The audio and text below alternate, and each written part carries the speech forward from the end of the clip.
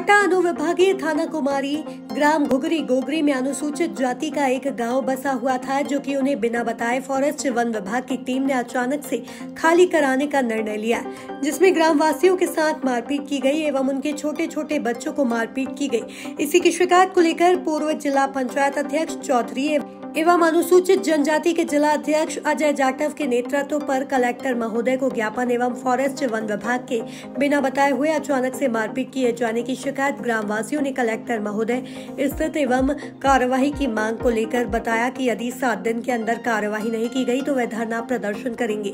दमोह से जिला bureau chief Rohit Barolia की रिपोर्ट।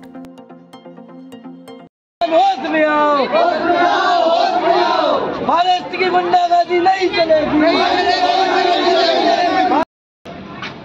फॉरेस्ट के द्वारा रात में 12 तारीख और 13 तारीख को मारपीट की गई और इनकी जो झुग्गियों मिटा दिया गया और कुछ झुग्गियाँ झुग्गियाँ लाई गई हैं और दलित समाज की महिलाओं और पुरुषों को गया है। मेरा आपसे निवेदन है कि इनको फॉरेस्ट के ऊपर कार्रवाई की जाए एवं इनको जहाँ कागज़ से छोटे घास की ज़मीन में, ज़मीन पर उनको पट्टे दिलाए जाए।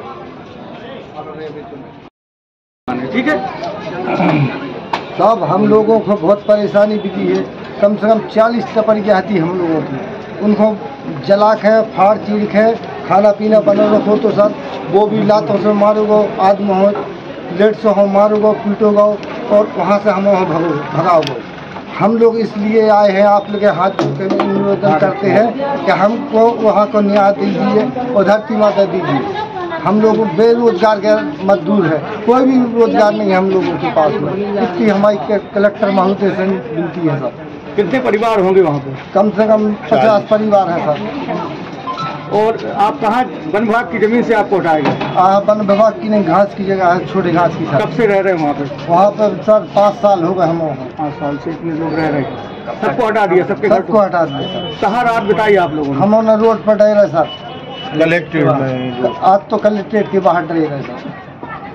कब हुआ ये कार्रवाई कब हुई है? परसों भाई रात में कल भी भाई दिन में। बारह तेरह। बारह तेरह। में। ठीक। है